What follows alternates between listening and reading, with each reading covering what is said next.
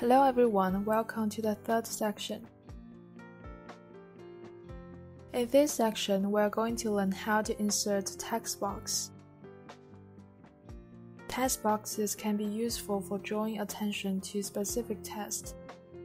They can also be helpful when you need to move text around in your document. First, select the Insert tab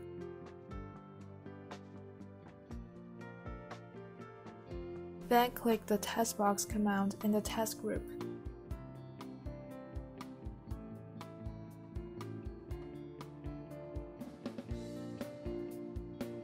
A drop-down menu will appear. Select horizontal text box.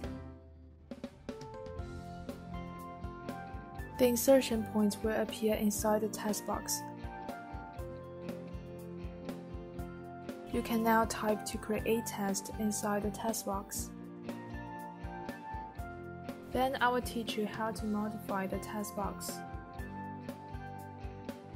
Word offers several options for changing the way text boxes appear in your document.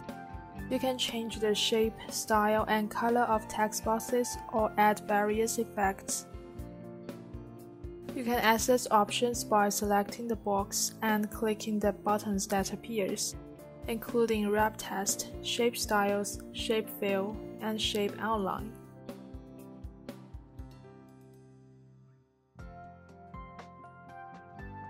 Select the style you want to use.